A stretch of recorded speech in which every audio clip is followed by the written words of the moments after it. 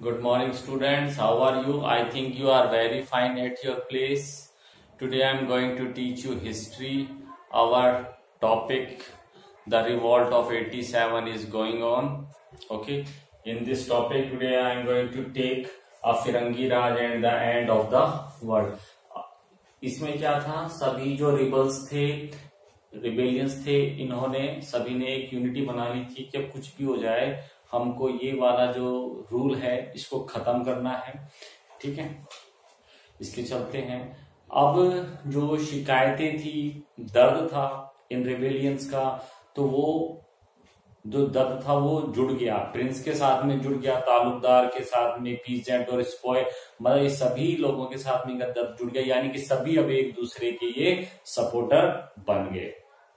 और सभी मिलकर मतलब ये सब भूल गए कि तालुकदार ने हमारे ऊपर क्या अत्याचार किया है राजा ने हमारे ऊपर क्या अत्याचार किया, ये सारी चीज़ें भूलकर ये अब इस काम में लग गए कि अब अपन को ये खत्म करना है।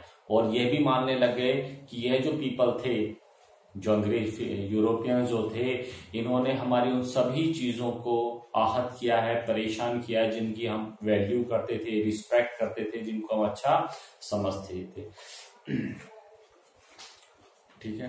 अच्छा अब इसकी वजह से उनके ट्रेडिशनल लॉयल वर्क जो थे 1857 के रिवोल्ट के साथ में जुड़ गए। अवध जो था, उसमें कुछ और ज़्यादा था यहाँ पे। The revolt become an expression of popular resistant in an alien order Awadh दूसरे एरिया के अलावा जो भी रेजिस्टेंस चला था विद्रोह चला था ऑपरेशन चला था, अवध में कुछ अलग था। क्यों था, इसके पीछे देखते हैं। क्योंकि यहाँ पे annexation displace not just the nawab यहाँ पे जो नवाब से जो सत्ता ले ली गई थी, वो सिर्फ़ नवाब से नहीं ली थी। नवाब में जैसे अपन ने पिछले टॉपिक में बताया था कि यह जो राजा जब डिस्प्लेस किया जाता है तो राजा के अलावा उसके कोर्ट में पार्टिसिपेट करने वाले डिफरेंट टाइप के जो पीपल्स होते हैं, वो भी इफ़ेक्ट इफेक्टेड होते हैं इस चीज़ों से। तो जब नवाब साहब का शासन चला गया तो उन, उनके शासन जाने के बाद में वहाँ के जो तालुकदार थे, वो भी लाचार हो गए थे। ठीक है? अच्छा उनकी जो कंट्री साइड में, यानी कि पूरे एरिया में अवध के जो तालुकदारों के जो फोर्ट्स थे, उनकी जागीरें वगैरह थी। ठीक है? जिन जागीरों पर वो शुरू से कंट्रोल करते आ रहे हैं, शासन चलाते आ रहे हैं ब्रिटिशर्स के आने के बाद में ब्रिटिशर्स ने उनको सॉरी गलत बता दिया वो जो फोर्ट वगैरह बना रखे थे उनकी स्टेट वगैरह थी जो कई पीढ़ियों से चली आ रही थी और इसी तालुकदार प्रोफेशनल की वजह से इन्होंने बड़े बड़े फोर्ट्स वगैरह बना रखे थे इनको बहुत ज़्यादा रिस्पेक्ट दी, दी जाती थी सोसाइटी में और यह जो रिस्पेक्ट है वो नवाब की वजह से भी दी जाती थी। अगर ये नवाब को रेगुलर अपना जो ताल्लुक है लैंड रेवेन्यू वगैरह है, वो प्रॉपर दे रहे थे। साथ में नवाब के साथ में अगर इनके रिलेशंस बने हुए थे, इनकी वजह से भी, इन दोनों सिस्टम की वजह से भी इन तालुकदारों के जो रॉब वगैरह था, वो बढ़ता जा रहा था। ठीक है?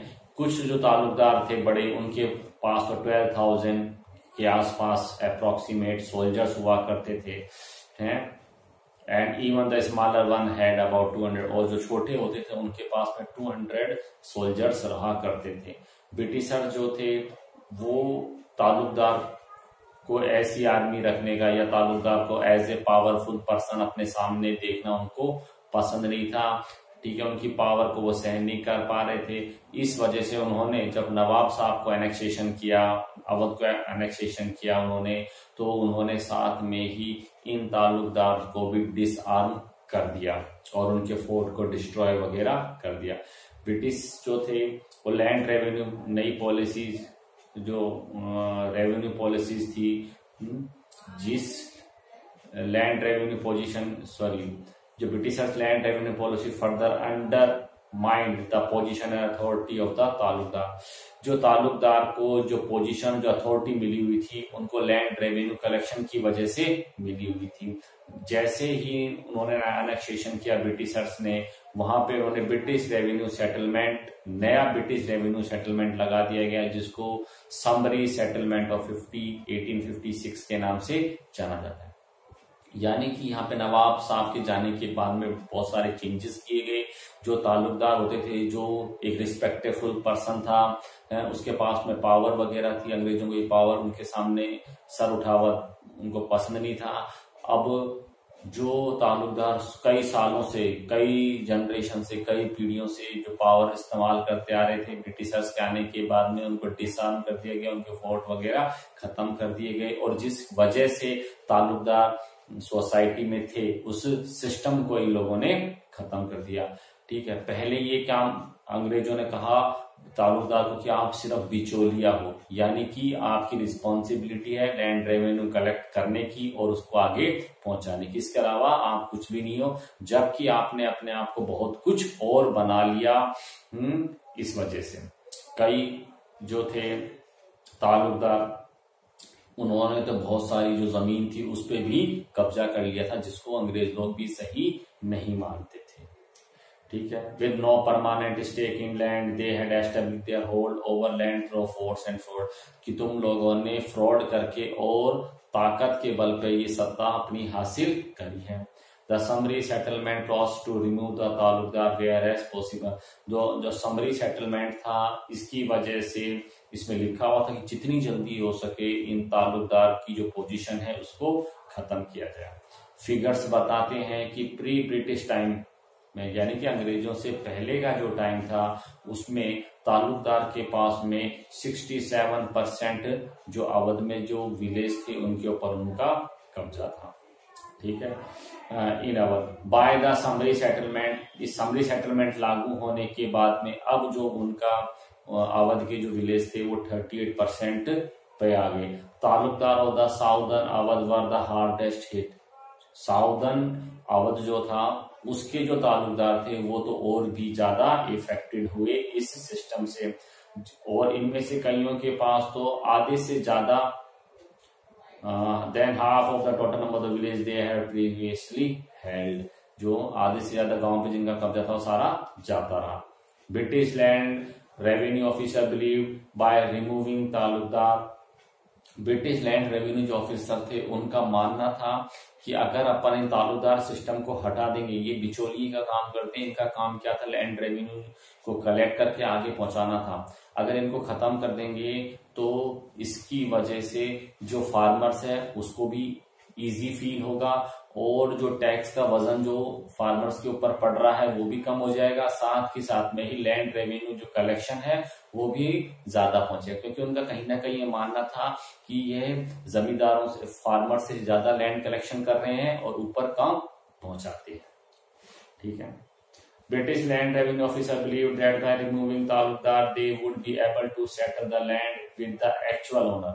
और वो चाहते थे कि अपन इन बिचौलियों को हटा के तालुकदार को हटा के अपन डायरेक्ट जो है लैंड रेवेन्यू सिस्टम है वो इसके जो असली मालिक है उसके साथ में अपन करें लेकिन but this did not happen in practice लेकिन ये वास्तव में लागू नहीं हो पाया ढंग से काम नहीं कर पाया क्योंकि land revenue flow for the state increase but हालाँकि जो लैंड रेवेन्यू जो कलेक्शन है, वो तो बढ़ा, लेकिन but the burden of demand of the peasant did not decline जो करों का, जो टैक्सेस का जो वज़न था बर्डन था, वो फार्मर के ऊपर से नहीं हटा, क्योंकि official soon found that large area of Awadh were actually मतलब ऑफिसर्स को पता चल गया कि जो जो टैक्स की जो रेट है, वो ऑलरेडी इतनी बढ़ा चढ़ाकर लिखी गई है, बताई गई है, या ली जाती हैं, जो कि आसानी से किसान उनको फुलफिल नहीं कर सकता। The increase of revenue demand in some places और कहीं कहीं पे जो रेवेन्यू की जो डिमांड थी, ये थर्टी टू सेवेंटी परसेंट होती थी। Thus neither taluqdar nor peasant had any reason to be happy इस वजह से ना तो तालुकदार और ना ही जो किसान था वो खुश हुआ इस एनेक्सेशन की वजह से। क्योंकि तालुकदार को हटा दिया तो वो भी खुश नहीं हुआ, क्योंकि वो नवाब हटाए हैं तो उसने सोचा होगा मेरी पावर बढ़ जाएगी, लेकिन जब अंग्रेज़ों ने उनको हटा दिया तो वो भी खुश नहीं हुए। फार्मर जो है, वो भी इसलिए खुश नहीं हुए, क्योंकि उन्होंने तालुकदार सिस्टम को तो हटा दिया। लेकिन जो लैंड रेवेन्यू जो टैक्सेस जो थे, जो परसेंटेज थी, वो डिक्लाइन नहीं की गई। Dispossession of taluqdar mean the breakdown of entire जब से तालुकदार सिस्टम को हटाया गया, जो सोशल ऑर्डर था सोसाइटी का, वो टूट गया आगे चलते हैं The ties of loyalty and patronage that bound the peasant to the Talukdar were disturbed. जिस वफादार मतलब ये जो कुछ फार्मर्स वगैरह थे, ये तालुकदार के साथ में लॉयर थे, उनके संरक्षण में ये लोग काम कर रहे थे। जब से तालुकदार सिस्टम हटाया गया, फिर ये सिस्टम खड़ा हो गया। प्री ब्रिटिश टाइम से पहले क्या होता था? जो तालुकदार वगैरह होते थे, ये किसान, हालाँकि ये कुछ क्रूर भी होते थे। कुछ पावर को इस्तेमाल करते थे, जबकि जो कुछ, जो तालुकदार हैं, वो दयालु किस्म के भी होते थे। बुरे समय में इन फार्मर्स की वो हेल्प करते थे। फ़सल खराब हो जाती थी तो उनको कुछ रिलैक्सेशन देते थे। अब जब तालुकदार सिस्टम डिस्टर्ब हो गया तो अंग्रेज़ जो फार्मर्स थे वो भी कहीं ना कहीं डर रहे थे कि इस नए सिस्टम में कहीं उनके साथ में बुरा नहीं हो जाए। कोई भी नया फेस्टिवल आ, कोई भी फेस्टिवल आता था तो ये तालुकदार जो है अपने फार्मर्स को पैसा वगैरह भी देते थे। लेकिन अब नया सिस्टम आ गया तालुकदार है ही नहीं अब ये सोच रहे हैं फार्मर्स की अब हमारे बुरे समय के अंदर कौन हमको सपोर्ट करेगा? The ties of loyalty and patronage that had bound the peasant to the talukdar were disturbed. In pre-British time. The talukdar were oppressive. हालाँकि कुछ ऑपरेसिव भी होते थे, दमन वाले होते थे, किसानों का बुरा करने वाले होते थे. But many of them also appear to be generous father figure they accepted a variety of dues from the peasant but were often considered in time of need. काफ़ी सारा वो टैक्स लगान करेक्ट करते थे, लेकिन बुरे वक्त में उनकी मदद भी करते थे। ना under the British the peasant was directly expose to over assessment of revenue and inflexible method of collection there was no longer any guarantee that in time of hardship और crop failure the revenue demand of the state would be reduce अब किसान ये सोच रहे थे, जब बुरा समय आएगा तो हमारी हेल्प कौन करेगा? क्या ये हमारी जो टैक्स रेवेन्यू सिस्टम है, उसको कम कर देंगे बुरे समय में? ओके और कलेक्शन पोस्टपोन और that in time of festivities the peasant would get the loan and support that the talukdar had earlier provided. हमको ऐसे समय में नए जो फेस्टिवल वगैरह आएँगे तो हमारी हेल्प कौन करेगा? In area like Awadh were resistant during 1857 was intense and long lasting इसी वजह से 1857 का जो रिवोल्ट हुआ था अवध में बहुत लंबे टाइम तक चला था। क्योंकि the fighting was carrying by the क्योंकि अब जो अपोज कर रहे थे ब्रिटिश रूल का, इसमें तालुकदार और पीजेंट दोनों मिलकर काम कर रहे थे। मैनी जो तालुकदार थे कई सारे तालुकदार थे वो अभी भी नवाब के प्रति लॉयल बने हुए थे और उन्होंने बेगम हज़रत महल के साथ में कोलोब्रेशन कर लिया था हम्म, और उनके साथ में लड़ रहे थे और उनकी लड़ाई उनके बेगम हज़रत महल के युद्ध में हारने के बाद भी उनके साथ में खड़े रहे थे Many of these Talmudim were loyal to the Nawab of and they joined Begum Hazrat Mahal, the wife of the Nawab in Lucknow to fight the British. Some even remained with her in defeat. वो defeat मतलब वो बेगम हार गई थी तो भी वो उनके साथ में खड़े रहे थे The grievances of the peasant were carried over into the spoil line since a vast majority of the spoil were recovered from the village. अच्छा और कई कुछ वजह से जो सैनिक हैं वो भी अंग्रेज़ों से नाराज़ थे, कहीं, क्योंकि वो भी मोस्टली जो भी सैनिक होते थे, या अधिकतर जो सैनिक जो थे, ये गाँव से आए गए थे और अवध के गाँव से इनको रिक्रूट किया गया था। ठीक है for decade the sepoy had अब जैसे फार्मर अंग्रेज़ों की वजह से परेशान थे, उसी तरह से जो स्पॉय हैं, सैनिक वगैरह हैं सोल्जर्स वगैरह हैं, ये भी अंग्रेज़ों से कहीं ना कहीं परेशान थे, क्योंकि वो कई सारी कंप्लेंट करते थे। एक तो उनको बहुत ही कम पेमेंट दिया जाता था और जल्दी से इनको छुट्टी वगैरह भी नहीं दी जाती थी। By the 1850 there were other reason for their 1850 के बाद में और भी कई सारे रीजन थे जो खुलकर सामने आए थे। The relationship of the sepoy with their superior white officer जो व्हाइट ऑफिसर के साथ में जो इनके रिलेशंस थे, वो टाइम पीरियड 1857 के टाइम पीरियड के आसपास में चेंज हो गए थे। पहले क्या करते थे, जो ब्रिटिशर्स वगैरह थे, वो इंडियन के साथ में मिक्सअप होने की सोचते थे 1820 के आसपास में। ठीक है, उनके साथ में मिक्सअप होने की सोचते थे, उनके कल्चर को समझते थे, उनके साथ में कुश्ती वगैरह करते थे, शिकार में उनके साथ जाते थे। मतलब कि वो अंग्रेज़ ऐसा इंडियंस को दिखाते नहीं थे कि वो सुपीरियर है। लेकिन जैसे जैसे टाइम बीतता गया, अंग्रेज़ अपने आप को सुपीरियर दिखाने लग गए छोटी छोटी बातों पर वो इंडियन सोल्जर को फिजिकली पनिश करते थे अब्यूज करते थे, वो अपने आप को व्हाइट मानते थे व्हाइट मानने की वजह से अपने आप को सुपीरियर मानते थे और इनके कलर इंडियन के कलर पर वो टिप्पणियाँ भी करते थे, जिसकी वजह से जो सोल्जर्स हैं वो ब्रिटिशर से नाखुश हो गए थे। Changes in the year proceed in the 1820 white officer made it a point to maintain friendly relationship with the spoil पहले फ्रेंडली रिलेशनशिप बनाते थे इंडियंस के साथ में, अब इन्होंने फ्रेंडली रिलेशन बनाना बंद कर दिया। साथ साथ में, मौज मस्ती के टाइम में उनके साथ में रेसलिंग करते थे। Fence with them and went out hawking with them many of them were fluent in Hindustani कई सारे अंग्रेज़ जो थे उस टाइम में फ्लुएंटली हिंदी वगैरह भी बोलने लग जाते थे। उनके फैम, कस्टम रीति रिवाजों से वो परिचित हो गए थे।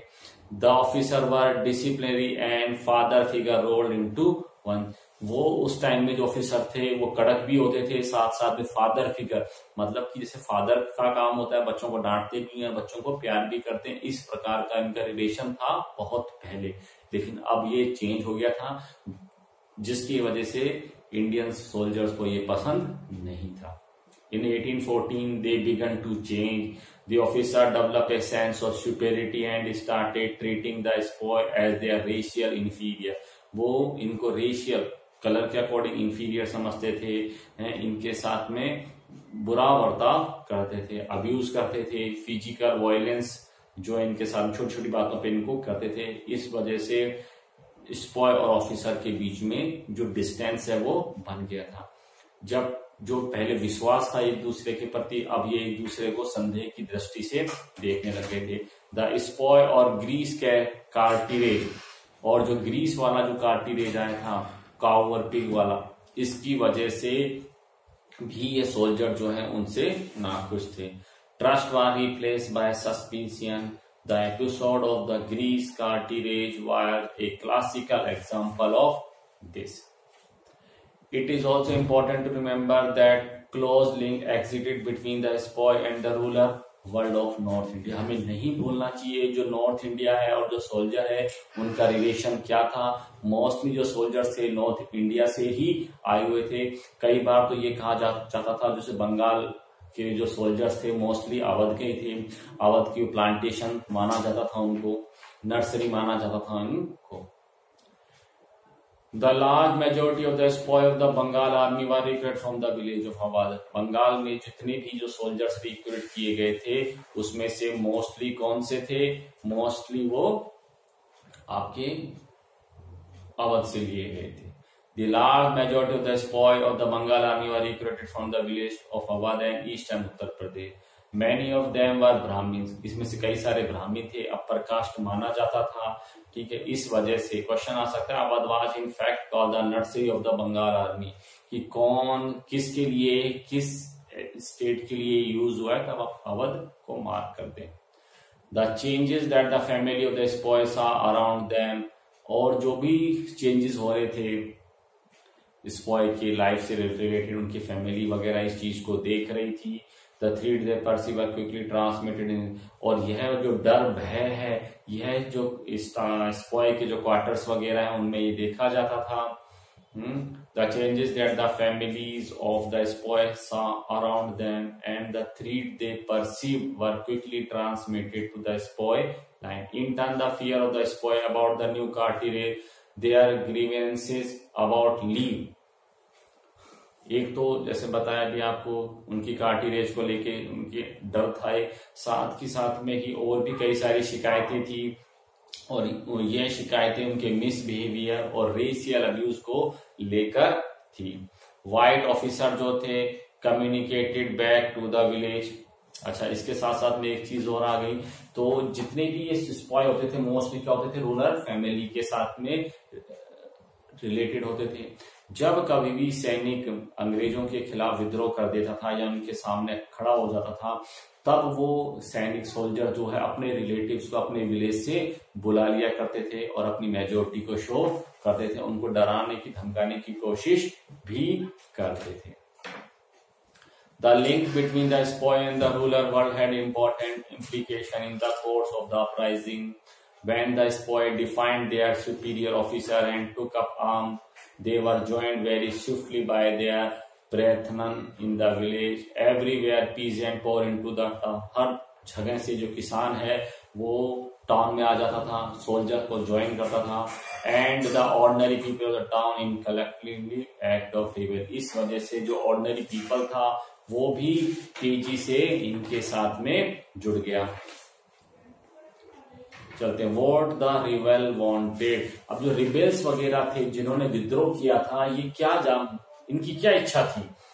अब इस बारे में हिस्टोरियंस से इनको ज़्यादा नहीं मालूम। जो हिस्टोरियंस है, जैसे अपन ने कई बार बताया हिस्टोरियंस जो कुछ भी बताते हैं, वो रिटर्न जो रिसोर्सेज होते हैं, उनके बेसिस पे बताते हैं। और ये रिटर्न रिकॉर्ड जो होते हैं रिसोर्स जो होते हैं, वो उनको बुक्स वगैरह में डॉक्यूमेंट्स वगैरह में मिलते हैं। तो जो कुछ भी हिस्टोरियंस को पता चला है, वो पीपल्स के वन साइडेड का पता चला है। यानी कि अंग्रेज़ अधिकारी इस रिबल्स के बारे में क्या सोचते थे, वो ऑर्डनरी पीपल के बारे में क्या सोचते थे तो उन्होंने सिर्फ़ वो ही लिखा है। साथ ही साथ में ही जो अंग्रेज़ अधिकारी के जो क्लर्क वगैरह होते थे, उन्होंने ही जो डॉक्यूमेंट्स लिखे हैं, वो डॉक्यूमेंट्स भी उनको मतलब पढ़ते वक्त ध्यान दिया जाता है कि उनकी क्या सोच होगी। जैसी सोच होती है आदमी की वो वैसा ही लिखता है। लेकिन फिर भी हमको रिबल्स के दूसरे साइड के बारे में कुछ जो इश्तिहार नोटिफिकेशन वगैरह जो हैं जो उन्होंने कभी आ, कहीं वॉल पे ही चिपकाए थे और वो किसी बुक में लिख दिए गए हैं तो उससे ही पता चलता है कि जो रिबेलियंस हैं वो क्या चाहते हैं। हालाँकि जो रिबेलियंस जो थे वो ब्रिटिशर्स के तो अगेंस्ट थे ही साथ के साथ में ही जो ब्रिटिशर्स से रिलेटेड कोई भी जो चीज़ थी उससे भी आ, उसको भी वो अपोज करते थे। जैसे जो रिच पर्सन होते थे सोसाइटी में वो कहीं ना कहीं ब्रिटिशर्स के साथ में जुड़े होते थे। जब रिबेलियंस आते थे वहाँ पे लूट मार करते थे प्लेंडर वगैरह करते थे तो वो इन रिच पर्सन को भी टारगेट करते थे, उनके बही खाते वगैरह जला दिया करते थे, उनको पब्लिकली इंसल्ट वगैरह भी वो लोग करते थे। एज विक्टोरियस मतलब विक्टोरिया मतलब अंग्रेज़ों ने विजेता के रूप में अपने आप को लिखा है कि भाई हमने अंग्रेज़ों, हमने इन रिबल्स को दबा दिया था। तो वो क्या लिख रहे हैं, वो पहले अपन वो पढ़ लेते हैं। As Victoria the British recorded their own trials and tribulation अंग्रेज़ों ने अपने विजेता ग्रुप में लिखा है कि हमको काफ़ी सारी कठिनाई हुई, हमको कई सारी चुनौतियाँ मिली।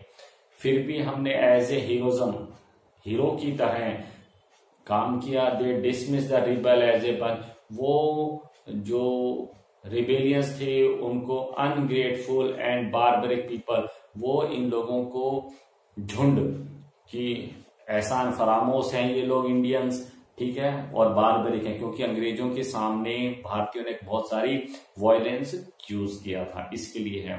The repression of the rebels also mean silence of their और रिप्रेशन मतलब जो हमने दमन किया है इन इंडियन पीपल के साथ में रिबेलियंस के साथ में तो हमारा यह जो दमन था रिप्रेशन था, वो इसलिए था कि हम उनकी आवाज़ को दबा देना चाहते हैं, जो भी वो कुछ चाहते थे।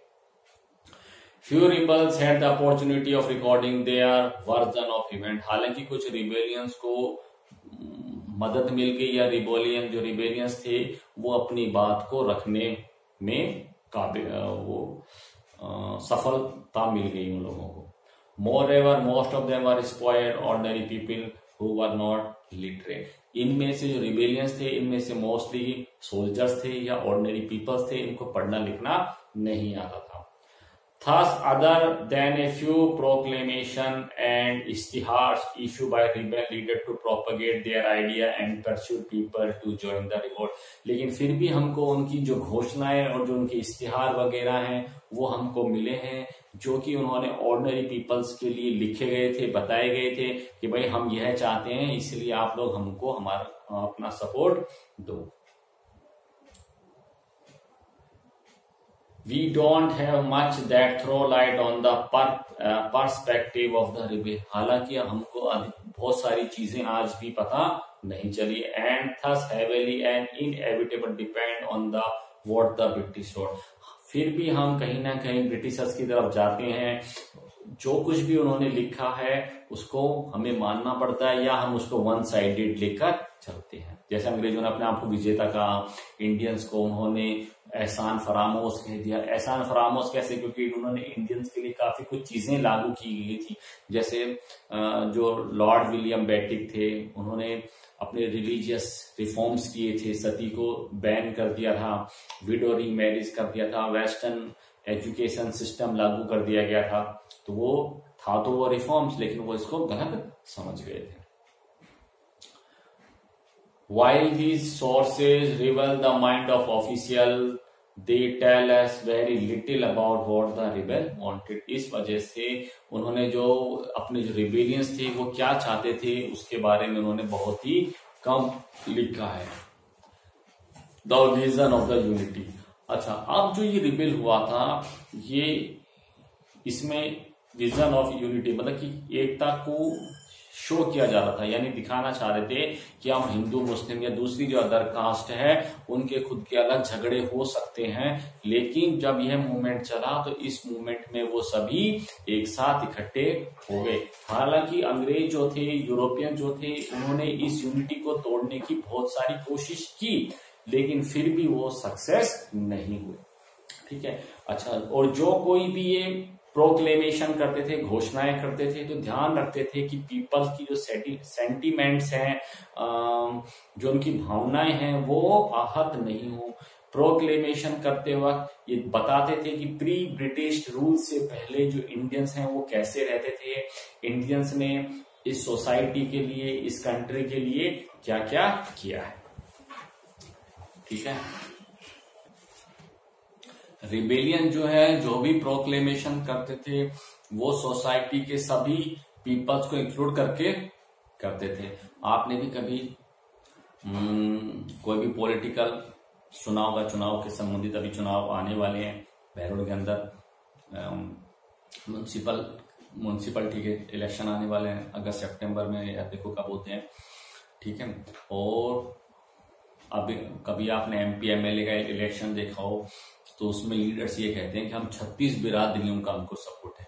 माना जाता है कि भैरोड सोसाइटी में या आसपास की सोसाइटी जो होती है इसमें 36 टाइप्स की रिलीजियस पर्सन होते हैं। जैसे ब्राह्मण हो गया है गुप्ताज हो गए हम्म, यादव हो गए जाट चौधरी वगैरह इस तरीके से थर्टी सिक्स बिरादरी मानी जाती है। तो ये लिख दिया जाता है कि हम छत्तीस बिरादरियों के हमको सपोर्ट है। तो उसी तरह के जो वर्ड्स हैं, ये लोग भी इस्तेमाल करते थे, चाहे वो पीपल सपोर्टेड हो या ना हो, उसका नाम लिख दिया जाता था।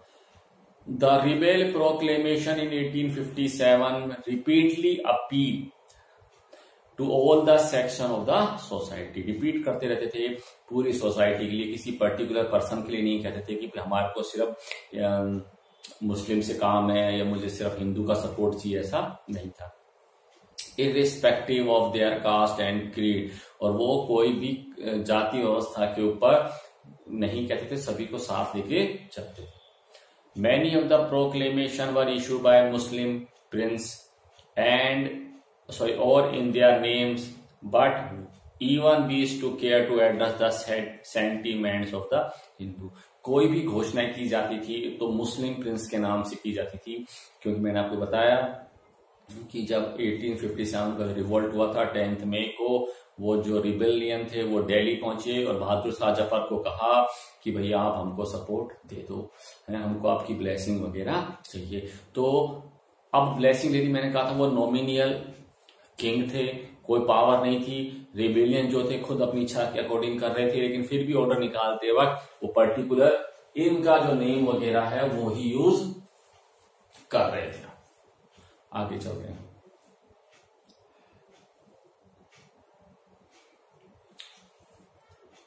और कोई भी घोषणा की जाती थी तो ध्यान रखा जाता था कि हिंदू कहीं उससे आहत वगैरह नहीं हो जाए, क्योंकि मुझे डर था कि अगर हिंदू नाराज़ हो गए तो वो इस नेशनल मूवमेंट से अपना हाथ खींच लेंगे। Hindu and Muslim had equally to loss और gain sorry the rebellion was seen as war in which rebellion जो थे, वो इस लड़ाई को यह लेकर चल रहे थे कि इस लड़ाई में हिंदू और मुस्लिम दोनों को लॉस और गेन साथ साथ होगा। यानी कि उनको इस लड़ाई से फ़ायदा भी होगा और नुकसान भी होगा। नुकसान इसलिए कि भाई उनकी जान वगैरह जा सकती है, फ़ायदा इसलिए कि दोनों फिर इनडिपेंडेंट स्टेट में दोनों साँसें लेंगे। The ishtahar hark back to the pre British Hindu Muslim past जो इश्तिहार लगाए जाते थे, उन इश्तिहार में, यानी कि उस नोटिफिकेशन में, उस एडवर्टीजमेंट में प्री ब्रिटिश का जो टाइम था, यानी कि अंग्रेज़ों से पहले का जो टाइम था, उसमें हिंदू, मुस्लिम की जो यूनिटी थी, उसको बताया जाता था ग्लोरीफाइड किया जाता था कि कैसे डिफरेंट कम्युनिटी मुगल एम्पर के शासन काल में साथ साथ रहती थी। हालाँकि, ऐसे बहुत ही कम एग्ज़ाम्पल हैं, जब मुस्लिम्स ने हिंदुओं के ऊपर प्री ब्रिटिश टाइम में आ, कुछ सपोर्ट किया हो। मोस्टली दबा नहीं करते थे हिंदुओं को दबा के चलते थे लेकिन फिर भी रिबिलियंस ने ये नई तस्वीर पेश करी। The proclamation that why issue under the name of Bahadur Shah appeal to the people to join the fight under the standard of both Mohammad and Mahavir जो कुछ भी प्रोक्लेमेशन घोषणाएँ की जाती थी उन घोषणाओं में बात लिखी जाती थी कि ये जो आपके बहादुर शाह हैं, यह सभी से अपील करते हैं, मोहम्मद से से भी अपील करते हैं और महावीर से भी अपील करते हैं कि भैया वो आए और इसमें अपना सपोर्ट वगैरह दे। It is remarkable that during the uprising religious division between Hindu and Muslim are hardly noticeable हालाँकि कुछ ऐसे एग्जांपल्स भी मिलते हैं कि इस 1857 के रिवोल्ट में से पहले या बाद में ब्रिटिशर्स ने कुछ कोशिशें की ताकि वो हिंदू और मुस्लिम की जो यूनिटी है उसको खत्म कर पाए, लेकिन वो इसमें सक्सेस नहीं हुए। हैं? और यहाँ तक की भी समझ में आता है कि इन्होंने फिफ्टी थाउज़ेंड जो रुपीज़ है उस ड्यूरेशन में खर्च किए थे ताकि इनकी जो यूनिटी है वो खत्म हो सके, लेकिन वो फेल हो गए थे। British attempt to create such division कोशिश करी थी, नाम भी सुना होगा डिवाइड एंड रूल कभी मत भूल in Bareilly in western Uttar Pradesh in December 1857 the British spend rupees fifty thousand मतलब कि 1857 के रिवोल्ट के बाद में इन्होंने किया गया ताकि हिंदू, मुस्लिम को एक दूसरे के साथ में लड़ा जाए spend fifty thousand to incite incite the Hindu population against the Muslim they attempt fail अच्छा इसके अलावा यहाँ पे एक आजमगढ़ में प्रो घोषणा की गई है ट्वेंटी फिफ्थ अगस्त 1857 को। ये एक बार पढ़ लेना इसमें ज़्यादा कुछ नहीं है। इसमें ये बताया गया है कि हिंदू और मुस्लिम एक दूसरे के सपोर्टर हैं हम्म, और इन दोनों को ही अंग्रेज़ों के अगेंस्ट लड़ना चाहिए और जो भी वेल्दी पर्सन हैं उनको सपोर्ट करना चाहिए फाइनेंशियली फाइनेंशियली इस पे। पढ़ लेना एक बार, इसको ज़्यादा कुछ नहीं है, इसमें से कुछ आता भी नहीं है। अब आता है against the symbol of operation जैसे कि मैंने अभी आपको बताया कि वो उन सभी लोगों के अगेंस्ट थे जो अंग्रेज़ों के सपोर्टर थे। अब इसको और देख लेते हैं। The proclamation completely rejected everything associated with the British rule of firangi rejected everything मतलब जो घोषणाएँ की गई थी, उसमें सभी चीज़ों को रिजेक्ट किया गया था कि भैया, अब अपन को कुछ नहीं करना, अपन को कुछ भी हो, इस फिरंगी राज जो है, इसको खत्म करके ही अपन लोग दम लेंगे। They condemn the British for the annexation they had carried out इन्होंने उन सभी बातों की निंदा करी कि किस तरीके से अंग्रेज़ों ने जबरन मनमाने तरीके से अनेक्सेशन किया। अनेक्सेशन मतलब छीनना। जैसे अवध को ब्रिटिश रूल के अंदर मिला लिया गया। और किस तरीके से इन्होंने डिफरेंट टाइप की ट्रीटीज मतलब समझौते किए थे, लेकिन उन सभी समझौतों को इन्होंने तोड़ दिया था। The British the rebel they condemned the British for the annexation. They had carried out and the treaties they had broken. उन सभी बातों की इन्होंने गौर निंदा करी। The British the rebel leader said could not be trusted rebellions ने कहा कि ब्रिटिशर्स के ऊपर ट्रस्ट नहीं किया जा सकता। What angered the people was how British land revenue settlement इन्होंने ब्रिटिश लैंड रेवेन्यू सेटलमेंट के ज़रिए बताया कि कैसे इन्होंने लैंड होल्डर्स को, है, चाहे वो बड़ा हो या छोटा हो, बेदखल कर दिया गया। ठीक है, कैसे फॉरेन कॉमर्स ने, यानी कि विदेशी व्यापार ने कैसे आर्टिशियन जो वीवर्स वगैरह हैं, उनके जो प्रोफेशन था, उनका जो धंधा था, उसको कैसे खत्म कर दिया। है every expert of British rule was attack उन्होंने कहा, अब हमको ब्रिटिश रूल को हर तरीके से अटैक करना है। फिरंगी जो हैं, ये हमको हर तरीके से बर्बाद कर देना चाहते हैं। हमारी लाइफ जो स्टाइल है, उसको इन लोगों ने चेंज कर दिया।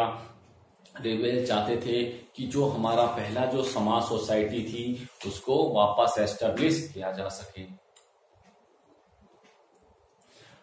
इन प्रोक्लेमेशन में, इन घोषणाओं में जो कि मतलब नोटिफिकेशन था, जो इन्होंने अखबार वगैरह में यहाँ कहीं दीवारों वगैरह पे चिपकाए थे उसके अकॉर्डिंग पर बात कर रहे हैं कैसे इन्होंने कास्ट और रिलीजन जो है हिंदू मुस्लिम का है इसको खत्म करने की सोची कैसे इस सिस्टम हिंदू मुस्लिम को क्रिश्चियनिटी बनाने की इन्होंने कोशिश की गई।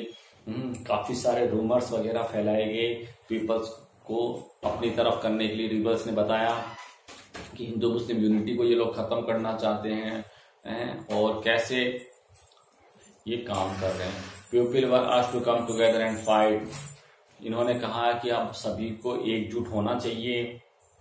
हम्म, एक साथ मिलकर अपन को इनको खत्म करेंगे।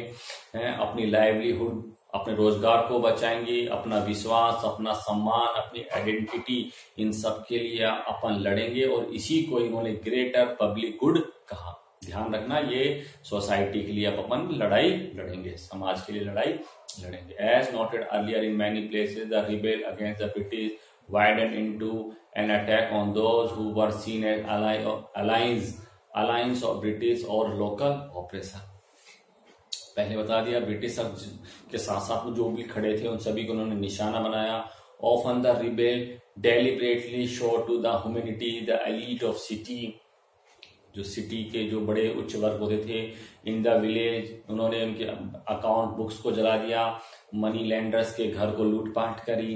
They reflect an attempt to overturn traditional hierarchy rebel against all oppressor it prevent a glimpse of an alternative vision है, ये वापस सामंतवादी व्यवस्था जो थी, उसको लागू करना चाहते थे।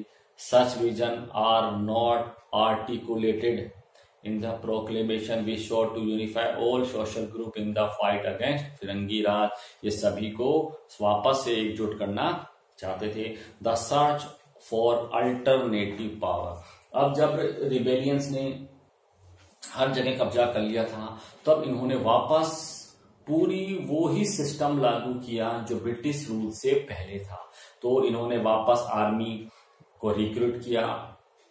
एडमिनिस्ट्रेशन सेटअप किया, जैसे कोर्ट चलती थी, जैसे रूल्स, रेगुलेशन चलते थे, जैसे लैंड रेवेन्यू सिस्टम चलता था, उन सारी चीज़ों को इन्होंने वापस से इम्प्लीमेंट किया।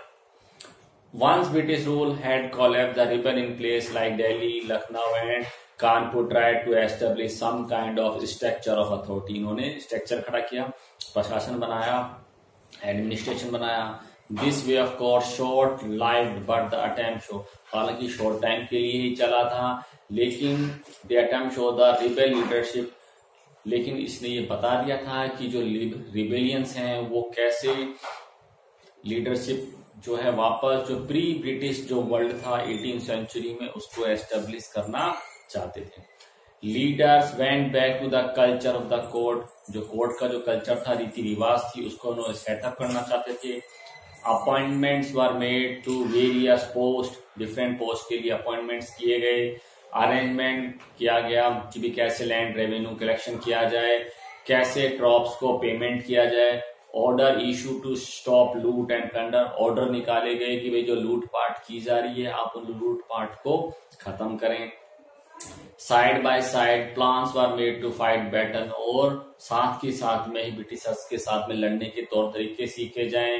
Chains of command laid down in the army different type की कमांड्स इशू की गई आर्मी में in all this the rebel hark back to the eighteen century Mughal world Mughal world वाला एस्टेब्लिश करना चाहते थे world that become a symbol of all that had been loss जो कि सब कुछ खत्म हो गया था उसको एस्टेब्लिश करना चाहते थे administrative structure establish by the rebel were primary aim at meeting the demand of war However, in most cases, these structure could not survive. The British onslaught. हालाँकि सारा सिस्टम बनाया लेकिन ये सारा सिस्टम जो है ब्रिटिश के प्रहार से बच नहीं पाया. बट इन द अवध लेकिन जो अवध में अवध में जो रेजिस्टेंस चला था वो काफ़ी लंबा तक चला था बहुत लंबा चला था. Lucknow court and hierarchy of the command were in place as late as the last month of eighteen 1857 and the early part of 1858 या 57 के एंड तक या 1850 1858 के टाइम पीरियड तक ये जो विरोध वगैरह है वो चला था। बेटा, बाकी टॉपिक रह गए। ये अपन अगले नेक्स्ट में कंप्लीट कर देंगे। Okay bye see you soon